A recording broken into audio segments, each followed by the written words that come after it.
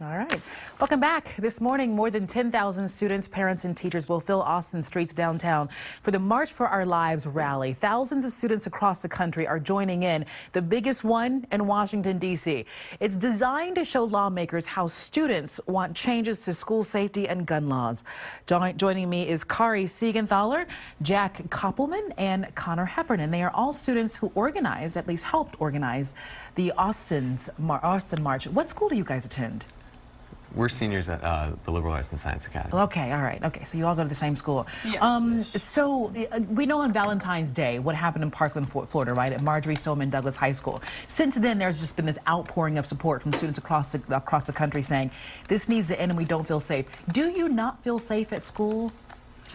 It's been hard coming from that. I mean, we already have all the other instances of gun violence in schools coming from Columbine, from Sandy Hook, and so that sentiment was already present in our minds, but seeing what happened at Parkland, Florida reiterated it, how this issue does not discriminate and it can happen at any time. Um, personally, sitting in my school, it is hard to feel safe. Thinking about all these incidents in the past that happened and no one knew that they were going to happen that day. Okay. Every day that I go to school could be my last. I see. So it's not that you walk around campus and you think, oh, that's an unlocked door or this is something or they're training us for. It's not that. It's just you're seeing all these incidents that are happening. You're thinking, man, that could be here.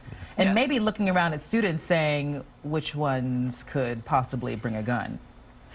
Does that go on in your mind too?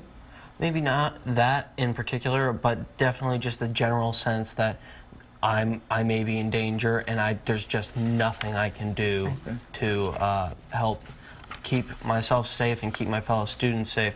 Uh, aside from what we're doing here today, which is just march so that we can uh, promote some good, sensible gun control mm -hmm. measures that will keep students safe in their schools. Now, do you talk to your parents or teachers, and what do they say to you? Well, um, the first thing that my mom said to me was that she was so proud of me for organizing this, but she wanted me to be careful, you know, because mm-hmm. ultimately mm -hmm. this this effort is uh, in the national spotlight, mm -hmm. and um, you know, organizing this at Austin, in, in Austin, we know that there are going to be a lot of people out there, and we also know that since this is in Texas, yeah. you know, there will be counter protesters. Yeah. Um, so, and, that's the same thing with our teachers. And I, I, think that everybody is very supportive of the fact that we are students who are organizing this because, you know, it, it's the students who are most directly affected by this. I'm glad you brought that, that Texas angle because, you know, we are in a big red state and people really believe in the Second Amendment here. So how do you square that with them to say, Second Amendment, you have that right. What, what are you saying to them? What we say is that, yes, we respect uh, people who own guns. We understand that the Second Amendment does exist.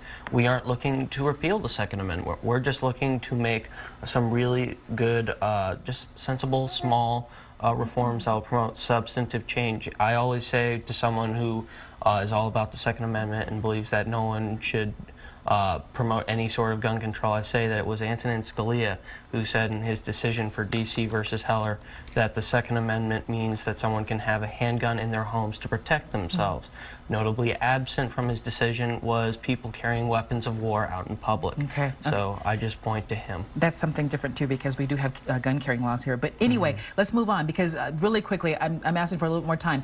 What's going to happen today at this rally?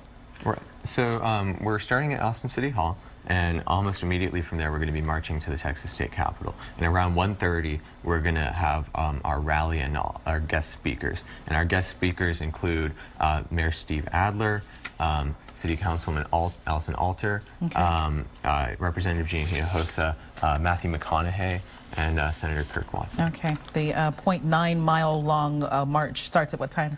Starts at around noon. Um, we are expecting people to show up a little bit late, so it'll start from between noon and 12.30. We're hoping everyone will arrive at the Capitol before 1.30 when the speeches start. All right. Kari, Jack, and Connor, stay safe, okay? Thank you. Thank, Thank you, you for joining much. us. Thanks.